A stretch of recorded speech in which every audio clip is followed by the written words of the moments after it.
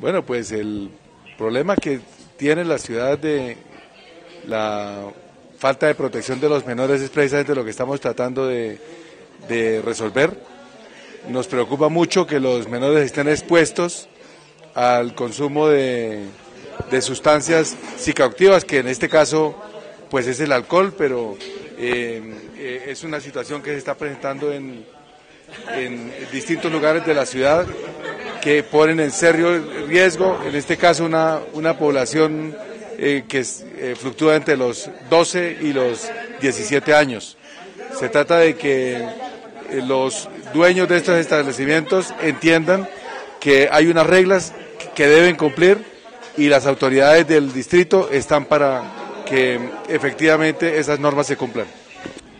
Se realizó una jornada de vigilancia sobre situación de riesgo de menores en las localidades de Engativá y de Kennedy y se encontró lamentablemente que hay personas inescrupulosas que quieren lucrarse induciendo a los niños a comportamientos de riesgo. Se encontraron cinco chiquitecas en la localidad de Kennedy y en la localidad de Engativá. En esas chiquitecas se verificó que se estaba expendiendo licor a los menores se encontraron armas blancas y se encontró marihuana. Son niños en promedio de 12 años y es una realidad muy dolorosa que hay que enfrentar ya. Secretario, ¿la ley contempla algún tipo de sanción eh, frente a esos mayores adultos que están vendiéndole todo tipo de estupefacientes, de, de alcohol a los niños? Las sanciones no son claras en la ley, no, no tenemos un marco legal claro. Eh, está prohibido el, expendio de licores a menores, eso conlleva el cierre del establecimiento comercial, pero en este caso no se trataba de establecimientos comerciales. En un caso fue la utilización de un salón comunal y en otro de casas particulares, todo con ánimo de lucro. Es decir, están induciendo a los niños a beber, a ingerir licor solamente como negocio y son, repito, niños en promedio de 12 años. En el caso cuando son utilizados estos eh, lugares que no son apropiados, ¿qué pasa con la gente, los dueños de la residencia, los salones comunales, secretario? Sobre las residencias no hay un, no hay un marco legal claro. Si fuera un establecimiento de comercio, podríamos cerrarlo o debemos cerrarlo. En el caso del salón comunal vamos a, a iniciar un proceso de investigación para imponer una sanción. Secretario, siempre que ocurre esto, dice Bienestar Familiar que va a empezar la sanción a los padres. ¿Esas sanciones sí son verdaderas?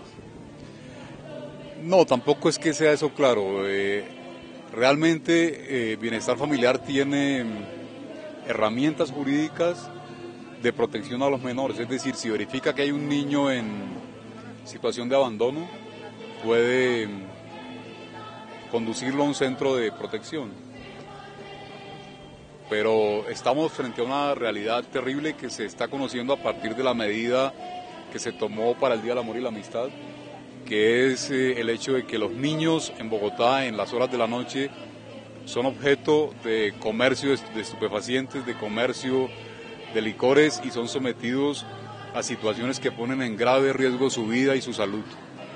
Son niños y niñas en promedio de 12 años los que se encontraron ayer. Secretario, por último, por este tema, el miércoles se van a repetir estos operativos que va a pasar para el 31. Claro, con mucho mayor rigor porque el día se presta para que estas personas inescrupulosas organicen estos eventos.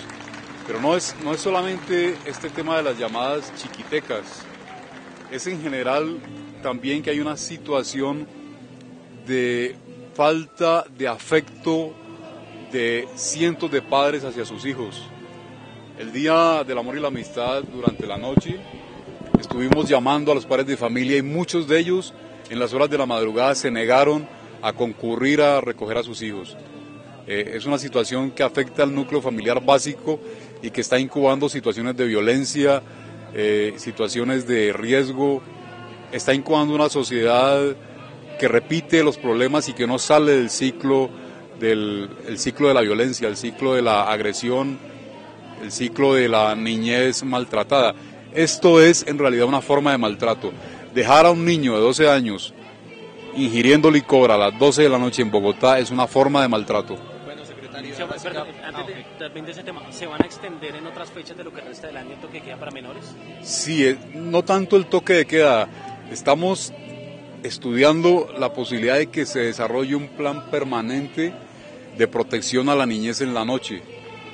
Y para ello, desde luego, tenemos que contar con el concurso de la autoridad máxima a nivel nacional eh, en el tema de protección a menores, que es el Instituto Colombiano de Bienestar Familiar. Pues nosotros queremos que la ciudad de Bogotá sea una ciudad que se pueda disfrutar por todos a todas horas. Eh, desafortunadamente esto todavía no lo logramos. La- si, si las personas que tienen este tipo de establecimientos cumplieran las reglas, si los padres se preocuparan porque los hijos también cumplan las reglas, pues la ciudad sería mucho más tranquila, se podría vivir muchísimo mejor. Pero desafortunadamente todavía tenemos esta situación y es necesario que las autoridades intervengan. Nosotros, como autoridades del distrito, estamos interviniendo y vamos a seguir interviniendo. Las medidas que se van a tomar el día de los niños, el día de las brujas, están encaminadas precisamente a fortalecer la- las medidas de protección de la población joven de la ciudad.